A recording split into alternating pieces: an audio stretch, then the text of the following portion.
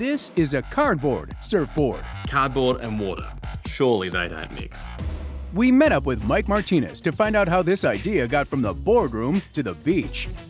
The idea for the cardboard surfboard to me came from my boss. When he came to me with that idea, I immediately thought, cool. I thought it's going to be awesome. And the thing with these projects is you start out with a ton of confidence, and then the realization of what you got to accomplish starts to kick in. We actually had to accomplish something that hasn't been done before.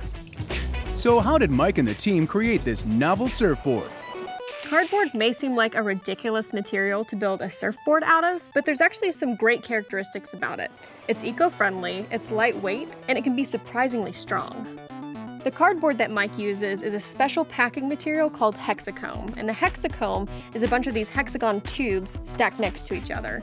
It's flexible in this direction, but in this direction, it's incompressible. So, you can stand on it and you can be well assured that it's not going to snap. And that's why this is a viable material for a surfboard.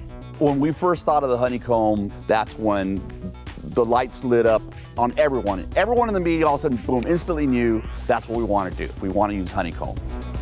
How did Mike manage to precisely cut this flexible card?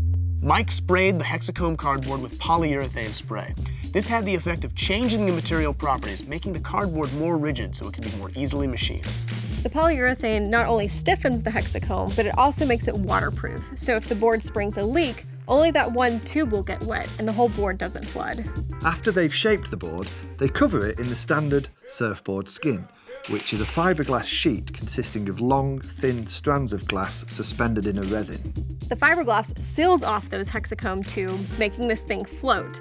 But it has an added effect of being transparent, so you can see through the hexacomb tubes as well as the fiberglass. So that means you can see through the whole board.